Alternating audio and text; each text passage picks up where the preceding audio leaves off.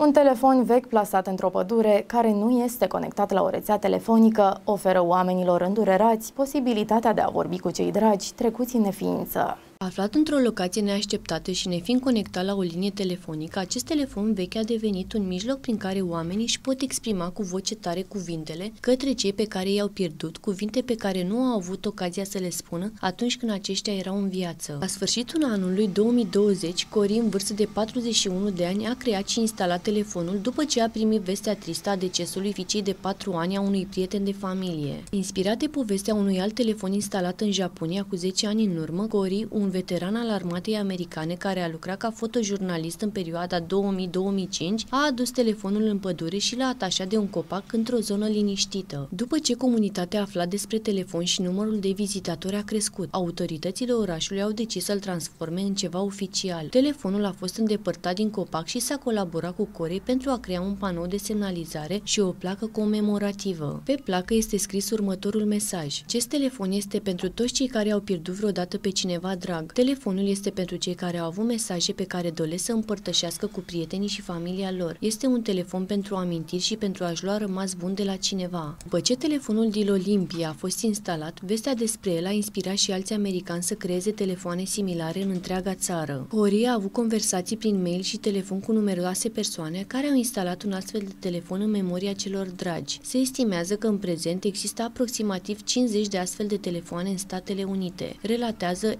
F. um gros